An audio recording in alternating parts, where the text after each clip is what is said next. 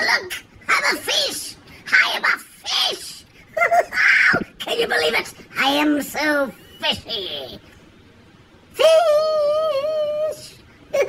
Vaffanculo, figlio di puttana, galactic criminal here. I am excited. For we have a special one today, man. A brand new single from The Wind Covenant. If you have not yet heard their first single, Damnation, go and check that shit out. Then come back and talk to me. Because to be honest, in my personal opinion, that shit is still right up there for contender for track of the year. But again, I've been waiting since May to hear anything new from these guys, so you'll excuse me if I quit the jabbering right there. Let's dig in, baby. The Wind Covenant. Eternal. One, two.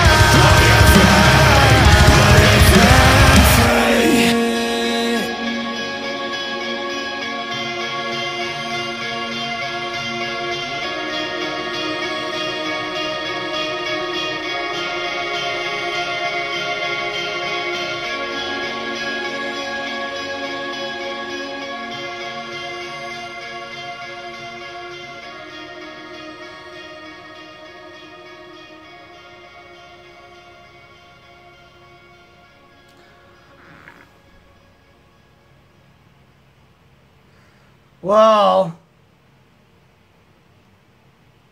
I was really, really expecting one last hit there, was just the way everyone was positioning themselves in that Hmm. I I have thoughts. I'll tell you straight off, I don't like this one as much as I did Damnation.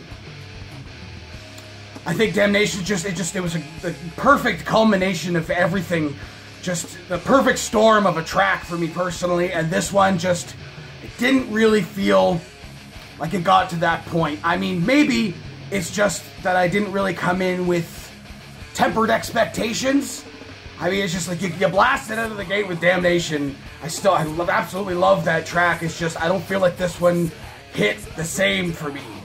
At least for like the first half. The second half, it kind of like picked up. There was some really cool drum work happening, like really, really fast-paced drum work happening, and there was that like the the back and forth like mixture blend of the clean and the harsh vocals. But like the the whole like verse chorus thing up until like the first half of this, I'm not sure I was feeling it. I mean, like some of the off timing stuff I thought was pretty cool. There was some definitely like technical stuff happening there, but I just I don't know. I don't I don't feel like it came together just right for me. I don't feel like the I, I thought the vocal melody, the, the clean vocal melody was nice, but it just it didn't hit in the right moments. If you know what I'm saying. Again, though, with that said, I feel like I feel like everything kind of came together toward the end of this thing. That just the sound they were going for with like really heavy drums and everything. Again, with like the back and forth between the two styles of vocals. I thought, well, where was that earlier on? That's a really really cool part. But then that part only lasted for a very short while. Again, going into like a very like somber instrumental to feeling like there was going to be at least another breakdown to there was there was nothing. I just I don't know. I feel a little bit let down.